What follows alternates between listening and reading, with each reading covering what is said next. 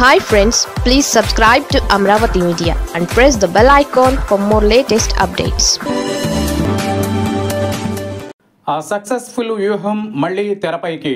రెండు వేల పంతొమ్మిది రిపీట్ చేసేలా జగన్ ప్లాన్ ఏపీలో రెండు వేల పంతొమ్మిది ఎన్నికలకు ముందు కేంద్రంలోని ఎన్డీఏ ప్రభుత్వ భాగస్వామిగా ఉన్న చంద్రబాబు నేతృత్వంలోని టీడీపీ బయటకు రావడం వెనుక ప్రధాన కారణం వైఎస్ జగన్. అప్పట్లో కేంద్రం ఏపీకి ఇచ్చిన హామీల్ని నిలబెట్టుకోవడం లేదని అయినా చంద్రబాబు నోరు మెదపడం లేదనే విషయాన్ని జనంలోకి తీసుకువెళ్ళిన జగన్ టీడీపీపై ఒత్తిడి పెంచారు. చివరికి చంద్రబాబు ఎన్డీఏ నుంచి బయటకు రావడమే కాకుండా బీజేపీపై దేశవ్యాప్త పోరాటం చేసి ఘోరంగా దెబ్బతిన్నారు.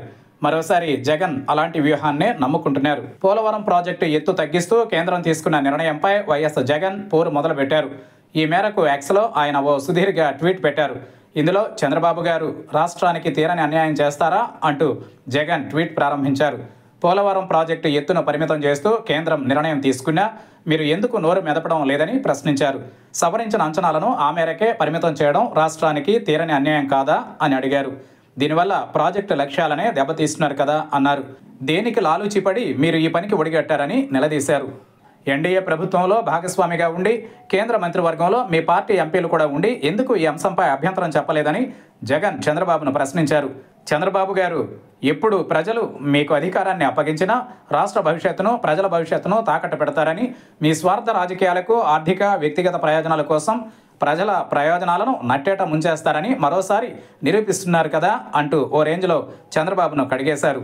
పోలవరం గరిష్ట ఎత్తు నలభై ఐదు పాయింట్ ఏడు రెండు మీటర్లు అయితే నలభై ఒకటి పాయింట్ ఒకటి ఐదు మీటర్లకే మీరు ఎందుకు పరిమితం చేస్తున్నారని జగన్ ప్రశ్నించారు. తద్వారా నూట తొంభై నాలుగు పాయింట్ ఆరు టీఎంసీలు ఉండాల్సిన నీటి నిల్వ నూట పదిహేను టీఎంసీలకే పడిపోతుందని తెలిసి కూడా మీరు ఎందుకు అభ్యంతరం చెప్పడం లేదని అడిగారు.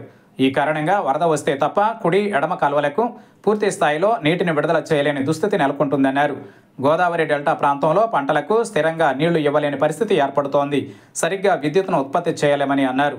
శరవేగంగా విస్తరిస్తున్న విశాఖపట్నం మహానగరానికి తాగునీరు పారిశ్రామిక అవసరాలను తీర్చలేమని అన్నింటికంటే సుజల స్రవంతి ప్రాజెక్టుపై ఎన్నో ఆశలు పెట్టుకున్న ఉత్తరాంధ్రకు అన్యాయమే జరుగుతుందన్నారు.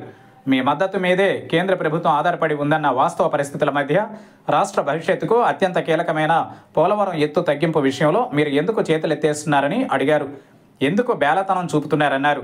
దీని వెనుక మీ స్వార్థం ఏంటి చంద్రబాబు గారు? అని జగన్ సూటిగా ప్రశ్నించారు. ఇలా చంద్రబాబును అన్ని విధాలుగా టార్గెట్ చేస్తూ ఈ ట్వీట్ సాగింది.